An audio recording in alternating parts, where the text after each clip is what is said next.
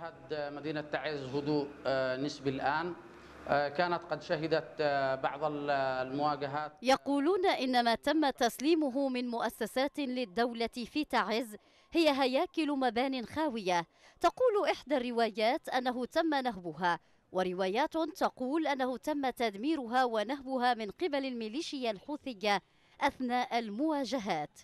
وتقول وجهة نظر أخرى أن الدولة تمضي في طريقها الصحيح في تعز وأن تفعيل حضورها في المناطق الشرقية من المدينة لا تقل أهمية عن تحرير المدينة وأن المقر الحكومية تم تسليمها رسميا للدولة بحضور وفد رئاسي برئاسة نائب رئيس هيئة الأركان صالح الزنداني.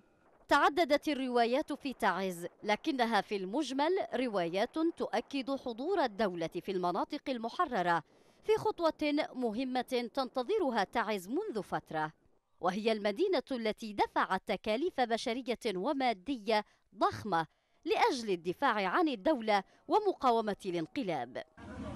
بحسب متابعين فإن نجاح عملية تسليم المقرات الحكومية في تعز وسيطرة الدولة على مؤسساتها نقلة نوعية في طبيعة المعركة لإسقاط الانقلاب واستعادة الدولة خصوصا بعد استلام القوات الخاصة والشرطة العسكرية مقر المؤسسات الحكومية في المربع الشرقي.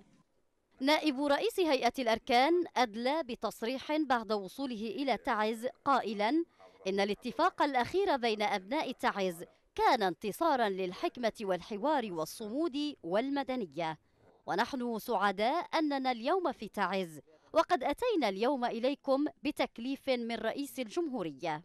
يقول مراقبون إن خطة تسليم مؤسسات الدولة وسط وشمال وغرب مدينة تعز تقتضي تسليمها في المرحلة الثانية وستشمل المعهد التقني الصناعي ومعهد تعز للعلوم الصحية ومركز 14 أكتوبر الصحي كما ستشمل المقر نقابة الأطباء والصيادلة والمعهد الوطني ومعهد المعلمين والجهاز المركزي للرقابة والمحاسبة ومحكمة الأموال العامة وبنك التسليف التعاوني الزراعي والعديد من المؤسسات.